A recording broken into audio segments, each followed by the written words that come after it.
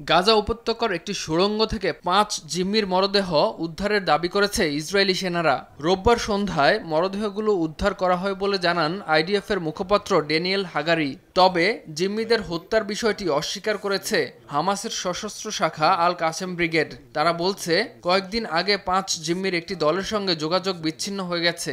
Israeli বিমান হামলায় এই জিম্মিদের মৃত্যু হতে পারে বলে ধারণা করছে হামাস।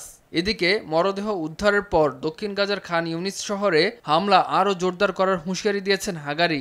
তিনি বলেন, আইডিএফ গাজার দক্ষিণাঞ্চলে নিয়ন্ত্রণের লক্ষ্যে কাজ করছে। গেল অক্টোবরের শুরুতে হামাসের হামলায় এক হাজার দুইশো ইসরায়েলি প্রাণ হারিয়েছেন। এবং জিম্মি হন দুইশো চল্লিশ জন।